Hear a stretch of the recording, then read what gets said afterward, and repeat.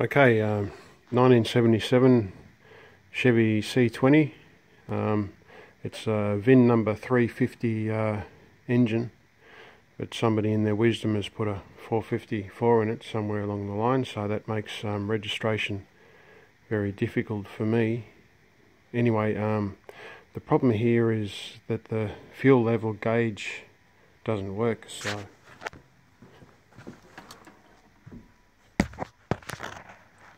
There's the fuel gauge and uh, I'll turn the key on now. So uh, looks like that's kaput. So um, try and get to the bottom of that now. Okay, and it's fixed. So we can see here the switch, the uh, left hand and right hand. So you can hear maybe hear the click at the, uh, the fuel tank switch at the back.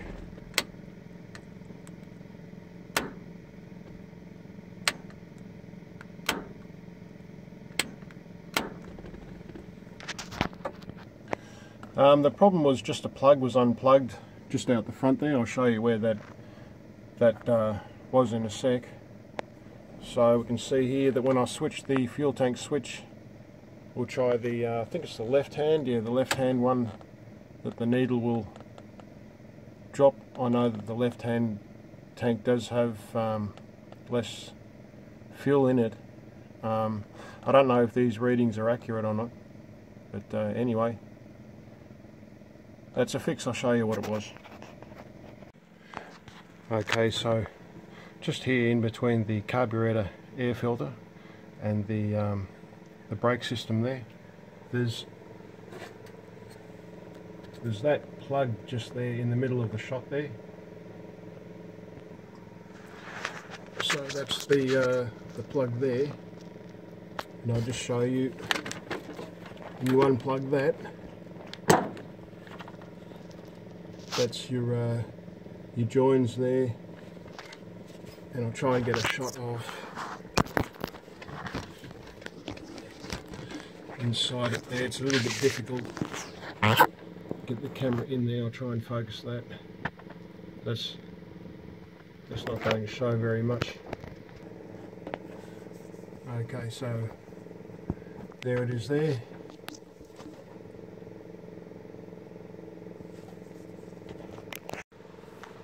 So what I'd do is I'd probably do my tests. I'd start off with this uh, this join here and uh, just run tests from there and you might be able to pick up on something. The, um, the green lead is the one from the, um, the dual tank switch. So the green lead, just there, the green lead on top. I'm pretty sure that that, that tank switch has to work. Um, if it doesn't work then you won't get any um, uh, reading on your fuel um, level gauge. Okay, I'll go under the truck now. Um, so we'll be starting from the um, the right hand tank or passenger tank and then we'll be coming this way.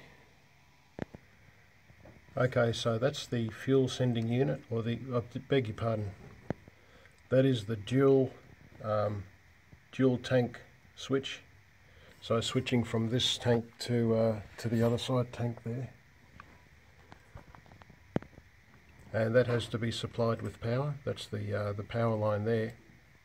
And that goes into this harness here. Gonna have to bear with me because it's pretty difficult to uh, to point out. Okay so that's the uh, the wire there. That's actually the same wire as that comes through there. And that turns into a green wire might be able to just see that join there that runs through the harness. Runs through the harness there. Keeps going along continues as green. Might be able to point that out somehow.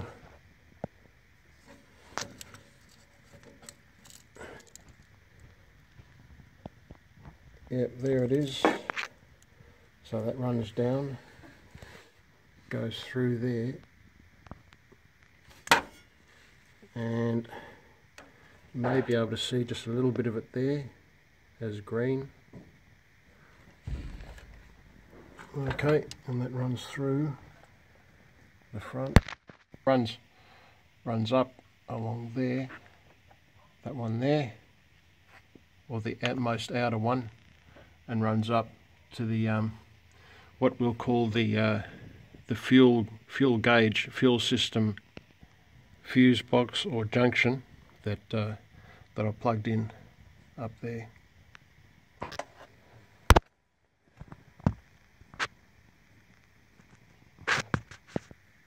Now that grommet you can see there,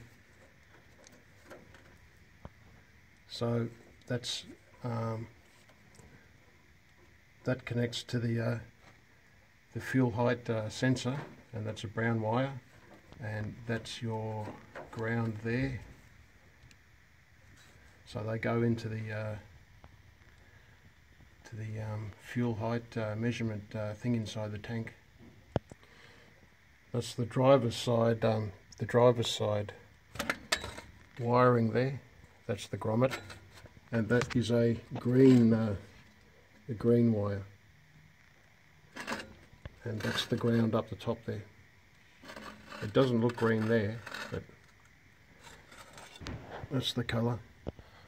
That's the wire um, colours of the wire in the harness that runs up to the front underneath the uh, the hood or bonnet. So the dual dual tank switch is that green and this is for the um, that goes into the tank that runs down somewhere between here and just here.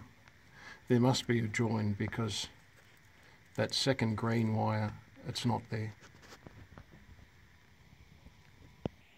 I hope this video helps and um, please like and subscribe